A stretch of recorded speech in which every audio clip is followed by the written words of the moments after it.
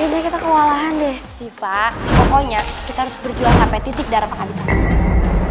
Saya ke sini ingin meminta Pak Along untuk melatih anak saya Nino. Biar bulu tangkis Ciherang itu semakin baik. Siapa Ciko? Iya. Saya lemparin kok. Nanti kamu ambil. Yang ini bukan? Mamang kamu orang sukses ya? Oh, mamangnya teh mobilnya teh meni mewah-mewah. Iya, yang terjadi tidak sabar atunya pengen ketemu Ucup.